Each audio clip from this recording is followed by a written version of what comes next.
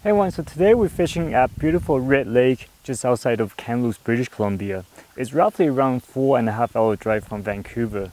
Um, this is just one of many, many lakes in the Thompson Nicola region where you can fly fish and bait fish in the summertime as well as ice fishing in the wintertime.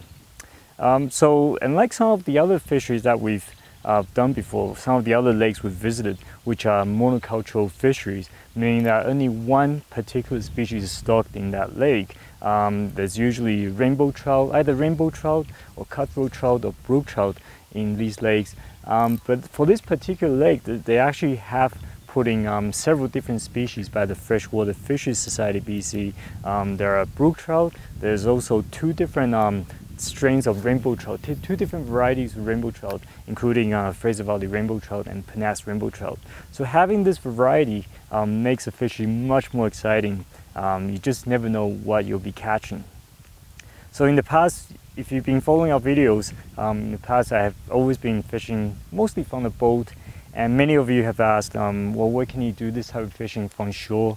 Uh, where, where, can you go to a lake where you can cast from shore and catch fish uh, successfully as well? So today, what I thought is we'll do a little bit of, um, do a little video fishing on the floating dock and hopefully we'll get into some fish.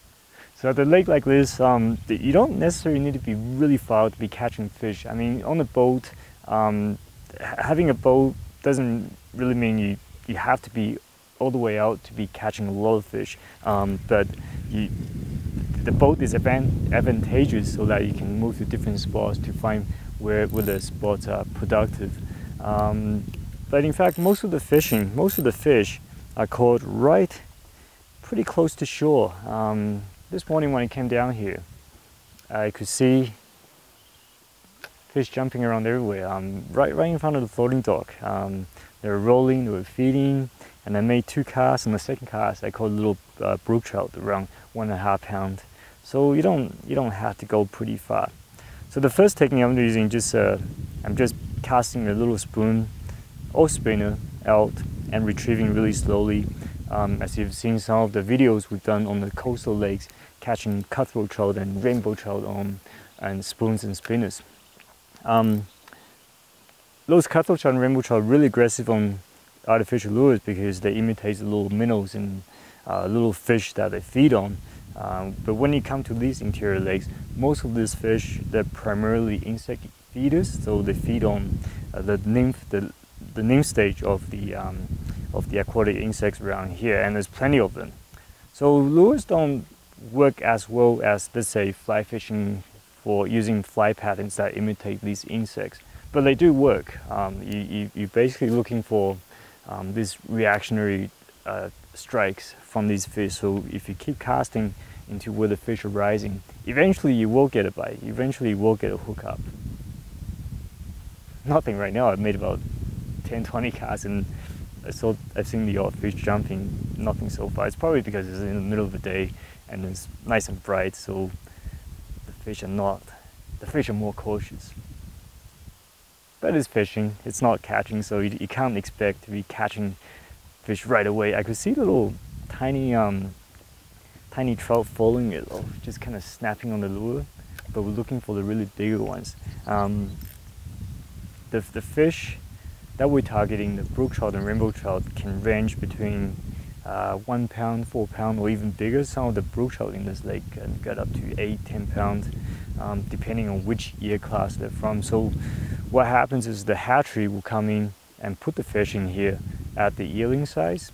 And after one year, because the productivity of these lakes is so high, um, they'll, they'll grow, they'll gain one or two pounds. By the second year they spend in the lake, they'll become three or four pound or five pound.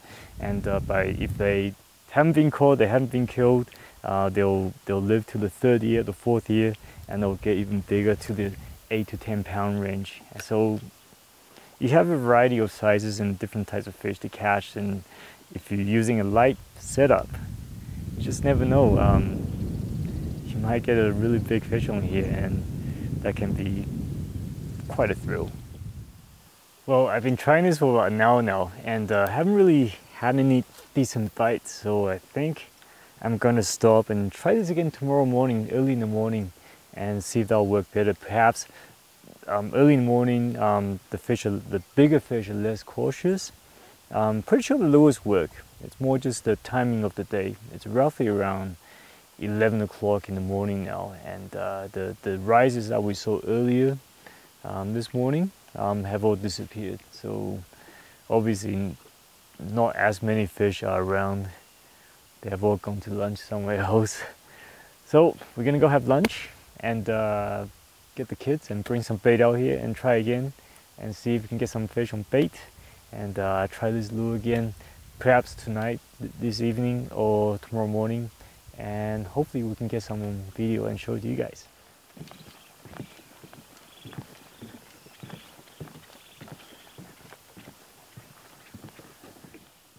Good morning. So it's uh, roughly around 7 o'clock right now and uh, the lake is just flat calm. I'm giving it another go today. Yesterday we um, tried it in the evening. I did get into a couple fish, uh, but I lost them all. And that's just the way it is when it comes to fishing. Um, they never made it to the net and so there are fish around. Um, they were all brook trout. Didn't catch any rainbow trout. I'm hoping there'll be a few more sticking around this area so we can get on the line again.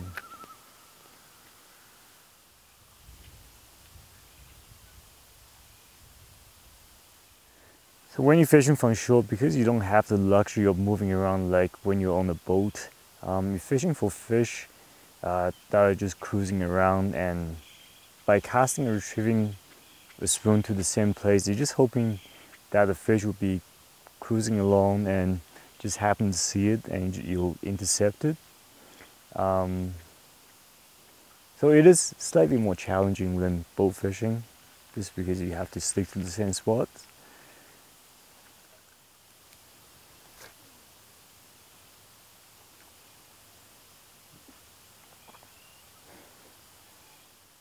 But there are a few things you can do that you can improve your catch success.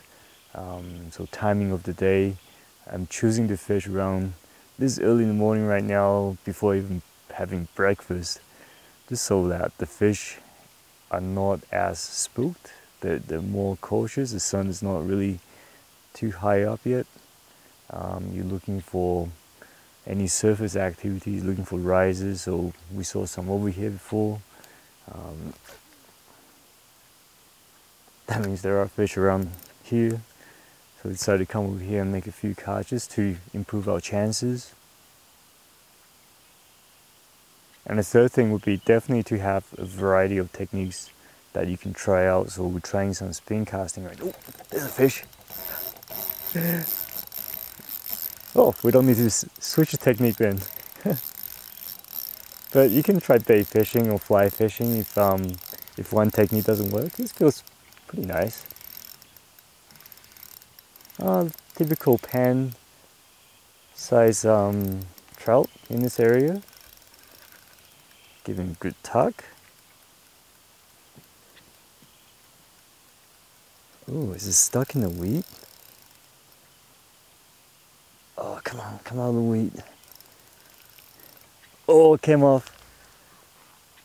Ah, oh, that was a okay, I shouldn't say that was too big. It was it was it was a nice pan-sized one. Um, good morning. That was a good start. Snapped the line, took my Gibbs croc spoon, so I got to tie on the other one. But I guess the drag may have been too loose. I, I tend to make that mistake pretty often. Um, and it ran into the weeds down here. There's quite there's quite a bit of weeds sticking up on the lake bed. Oh.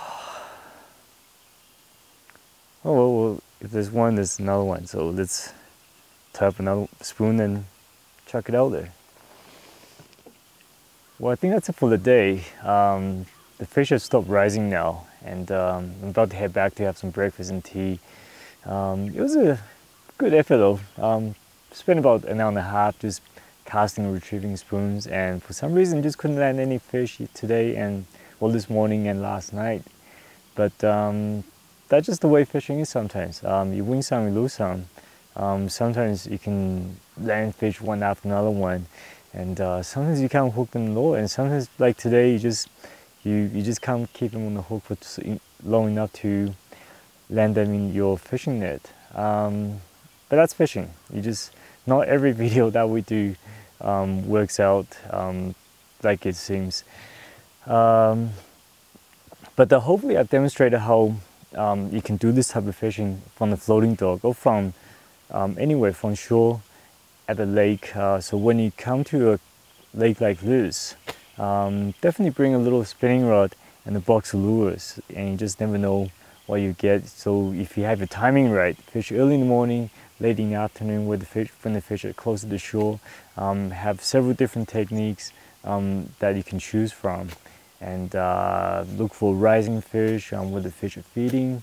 Um, that, that will, those, by using those um, options, you can definitely increase your chance of catching a fish from shore.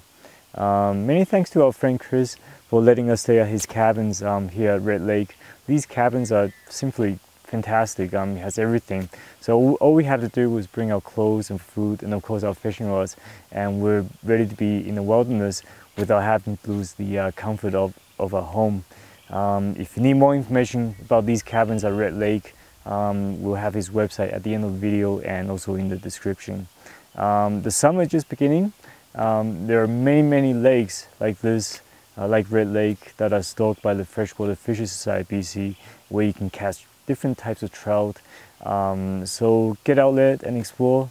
Until next time, good luck fishing.